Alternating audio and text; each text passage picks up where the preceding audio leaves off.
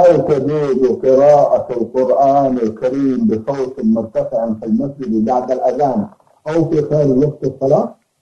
نعم يجوز تلاوة القرآن بصوت مرتفع إذا لم يشوش على المصلين أو التالين الذين بجانبه يتلون القرآن أو نائم في المسجد فإذا ترتب على الجهر بالقراءة أذية للحاضرين من المصلين أو القارئين أو النائمين أو الذين في درس من الدروس فإنه في حينئذ لا يجوز الجهر بالقراءة لأن هذا يترتب عليه أذى للآخرين.